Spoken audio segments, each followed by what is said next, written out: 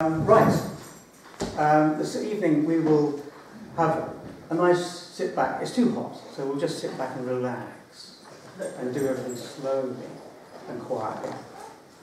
If anybody starts sleeping and snoring, it's fully understood. okay? Because quite frankly, I would love to curl up with a whiskey and so forth. Um, and, uh, in this sort of temperature. Some of the things that I'm going to tackle tonight about tone, I have already tackled before in a demonstration here a couple of years ago. Um, so there'll be a repeat of some of the things that some people have already seen, but some of the new members will not have seen them. Uh, and I think they're extremely important anyway. The setup for this evening is that I will do a bit of talking, a bit of demonstrating and so forth for the first third or so of the evening. And then later on, um, there's an exercise that we can we can all do to do with, uh, with tone. But there are just one or two things I want to point out that are very, very important, and which I've learned along the artistic road, and which sometimes I forget, and which I see uh, sometimes um, members here perhaps forget. Um, and not just to do with tone, but other bits and pieces too. And so I'll bring those in at the same time. It'll be a bit of a mishmash. Okay. Um, but tone I feel, after all my experience, the, the look, looking at tone, exploring it and so forth, is far more important than virtually any other element in artwork. It's more important than the choice of colour. If you look at some of the paintings by Andy Warhol and others and so forth, um, the colours there are just nothing like the real colours at all. They're doing a portrait or whatever. But what actually does um, uh, is important is the way that colours are used in their tonal sense. I'll be using language tonight, which um, I'll try and explain because it gets a little bit technical here and there. Um, I've given you a handout, I've given you a grey scale as well. We'll use that a little later on. The handout we can refer to tonight, but it's also for you to take away so that you can um, refer to it um, as and when you want to in your own work the important thing when we're exhibiting is that our paintings should have impact. And tone has a lot to do with impact. If you've got somebody coming in to the exhibition in a couple of weeks' time, they look around and you want your painting to grab their attention from the other side of the room and hold their attention as they walk towards it. And in fact, so it competes against everybody, everything else. It's, it's, so impactful, it's not an actual word, there's so much impact in it that that's where they want to be, where they want to go. And very often that impact, it doesn't matter what the subject is, comes through light and dark differences. It comes through this thing I constantly talk about of capturing the light. If you do not capture the light in your paintings, then you're onto a loser. And we capture light very easily, simply by surrounding it by dark. And in fact, if you look, I think it's on page three, I'll jump around in this a little bit. There's a portrait by Rembrandt at the bottom there. Now, I apologise again, my printer wasn't working that well. The, the left-hand image is the original, uh, with the dark around it. The right-hand image is the same image, basically, but with the dark removed and with a medium tone put beside it. Now it doesn't come out so well on this, this print, but if you sort of close your eyes and then look again very quickly and don't try to think of it as a portrait, hopefully you'll find that the image, the original image on the, the left-hand side, has a great deal more impact. The tones that Rembrandt has used for this guy's face are actually sort of medium tones, they're middle tones middle values, as, as we call them, uh, which by themselves just don't have much impact at all. But what he's done is he's surrounded the whole portrait in black. And all of a sudden, those medium tones zing. They really come out. As I say, this is, from a, this is a print onto a print onto a print and so forth. If you look at the original, it's really, really impactful. It looks as though the complete light coming onto this guy's face. If you remove that dark area, you don't capture the light, and the impact is not quite so, so much. Okay? So with tone, we're looking at values. We're looking at values which are very, very, from very, very dense through to the very, very light. And if you look at the first page again, this little, little graph there, if you like, colour graph, which shows you uh, six or seven colours with their deepest tones at the top and their lightest tones at the bottom, and the various different grades going through. So with one colour, what we call a hue, H-U-E, you can have several different tones of that one colour going through. And as artists, it's being able to use those tones in the right way and in the right place that helps our paintings to have impact. And we'll show you that how that works tonight. Okay, so I, I'll keep on emphasising that because so often I find paintings which have been beautifully drawn and, and nicely painted, but where all the colours are sort of what I would call medium tone. And if you look at the final page at the top, that painting of the house with trees around and so forth, that's the kind of thing that sometimes gets painted by a lot of, you know, um, landscape artists and so forth who are on the road to learning, where virtually all the tones there are sort of middle tones. There's no real differentiations. Different colours used there, different greens and yellows and uh, raw siennas and so forth, but there's no impact. Now I've got that painting here, and I'll, as part of the tonight, I'll change it. I'll give it some impact. Because you can go back to past paintings that you've done and, and change them, which is quite nice. Um, and of course, the other thing I'd like to say is that uh, what I'm talking about tonight is the same, doesn't matter what medium you're using, whether it's uh, watercolour or oil or acrylic and so forth, they're all the same. Um, on the second page there, um, there are one or two other terms, and you can refer to these later on. Um, not the place in Norfolk, but C-H-R-O-M-A. It's quite important. And it goes along with the diagram on the third page there at the top. The tonal range, there's, on the third page, there's um, one, two, seven or so um, colours, starting with indigo at the top, then sepia, pyrrole red, and so forth. Over the right hand side, there are the darkest tones you can get with those colours. But if you look at the darkest tone you can get with yellow ochre, it's roughly halfway along the indigo trail. Does everybody understand that? Your lemon yellows, your yellow ochres and so forth, you cannot get intense tones with them. The thicker, the, as thick as you make them, you, that's as far as you go. Whereas other colours, like indigo and sepia and so forth, the tonal range is much, much wider. And that should um, come into your choice of colours.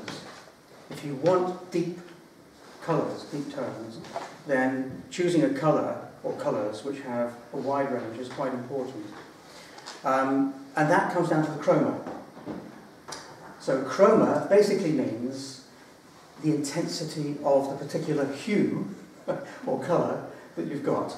So indigo has a very high chroma value, very, very intense, whereas lemon yellow has quite a low chroma value, and therefore it's the range of tones you can get with uh, lemon yellow is a lot less than it is uh, with indigo. So, okay. I find the more I get into this business of art, um, the more I find it's a cerebral occupation. In other words, it's occupation of the brain, which is one of the reasons why it's nice to have that quiet period at the beginning, you know, the first hour that we're here. Because what you should be doing, what I should be hearing, is your brain's humming away, overheating perhaps, and saying constantly, Am I light enough? Am I dark enough? Have I got enough contrast there? How can I arrange this painting so that I get impact? And so when I'm painting, and when I'm drawing, especially when I'm drawing, this is why it's so important to draw freehand rather than get into a bad habit perhaps of, of drawing um, using a quick process like um, carbon transfer and so forth. When I'm drawing, I'm constantly looking for areas which I can leave out and leave completely light and other areas beside them where they I can leave put in darks. And it's by doing that and getting that, that capturing that light that I can actually get some, some impact into my painting hopefully. So that is I, that's what I find, that there's a lot of thought that has to go in before you start painting. Um, and then hopefully when you've painted, this is what, remember, was it Paul, what's his talks, a couple of years ago said, can't remember his name now, that you plan your painting like a tortoise, but you paint it like a hare. Once you've made your decisions about tone and everything else, the actual painting it should take minutes not you know, a long length of time because you've made those decisions. If you're having to think whilst you're painting about you know, whatever, then um, those are decisions perhaps you should have made right at the, right at the beginning. Uh, and this is a, uh, just to show you this thing about impact and capturing light. This is something which a lot of you have seen before, but some of you haven't, so I'll, I'll show it again. What we've got up here is the lightest light. And down here we've got the darkest dark. So this is a light field, and on it there is a light cottage. And this is a dark field, and on it there's a dark cottage. If you look at it, the cottage has virtually disappeared in the light area, and again down here in the dark area. If I now take a cottage with a middle tone, like that. Oops. I've now got a darker tone against the light, and it's therefore showing up. And I've got a lighter tone against the dark, and therefore it's showing up.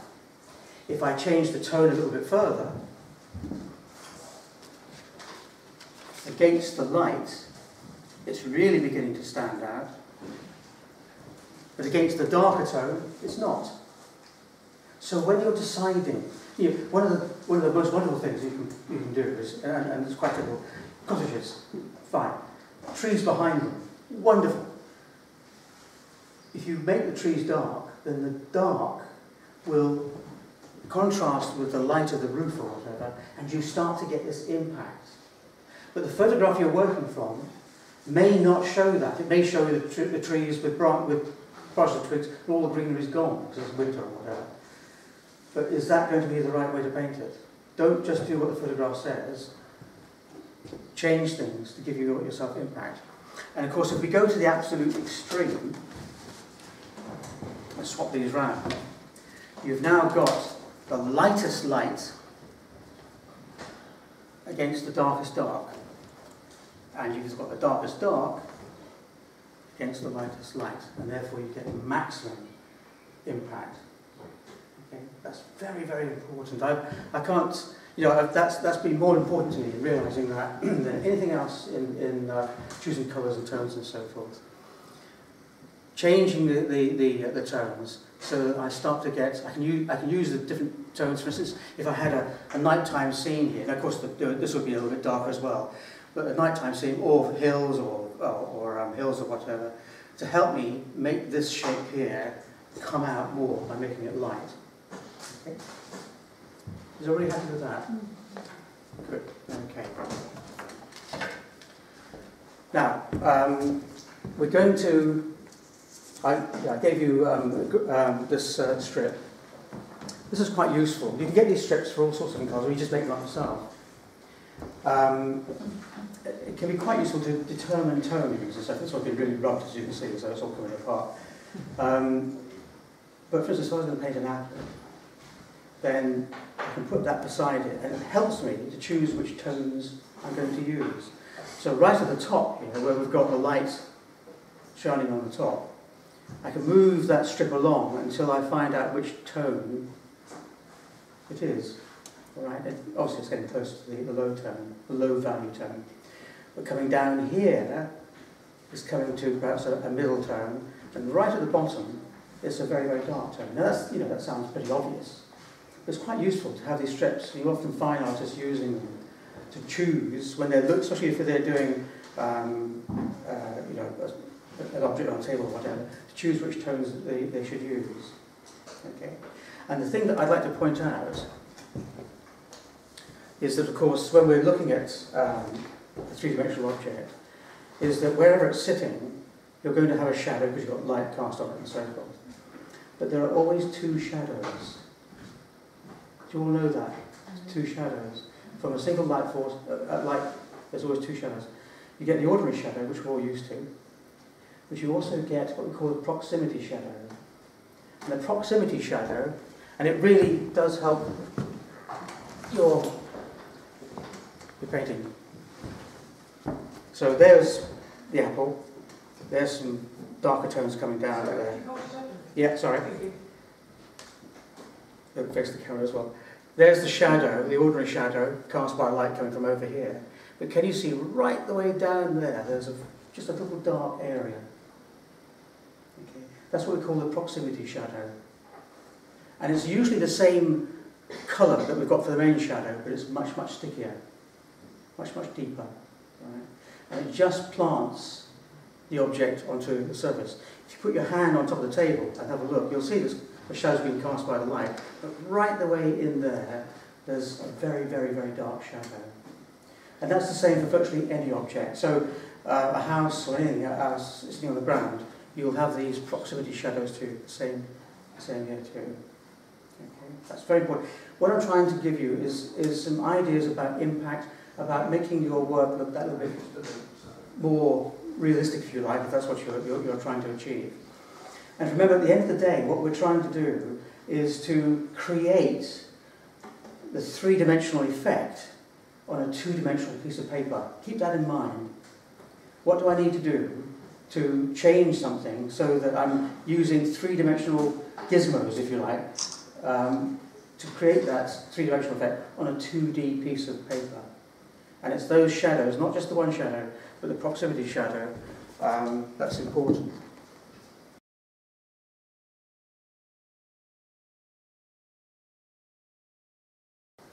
Now, what going to do a little later on is to do um, a, a scene which um, is going to be based on one, one colour, just one chrome uh, painting.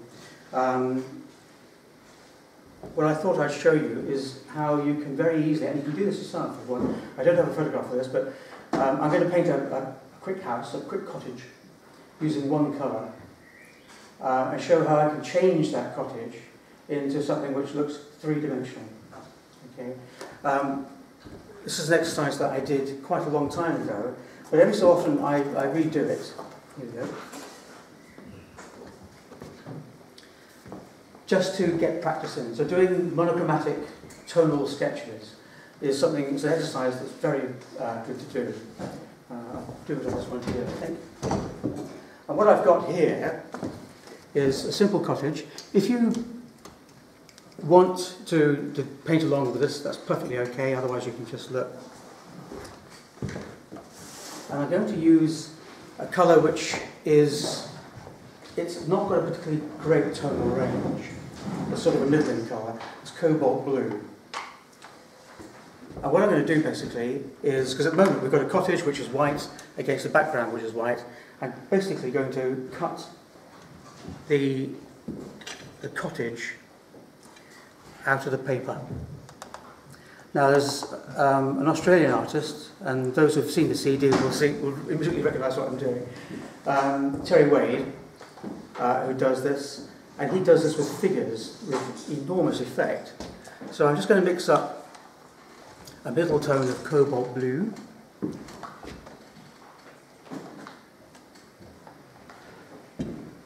And just shove that on. It's quite a light tone. So when we come to do our monochromatic draw, uh, painting later on, this is how we'll start. So nice and light. Um, a bit across there as well.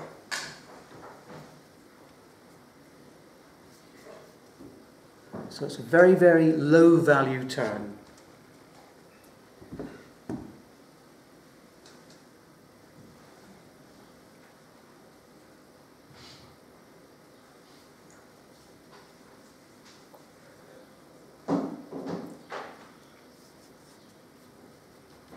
Okay. Same colour again, this time a little bit deeper in tone, more of a middle, middle value, so slightly stickier.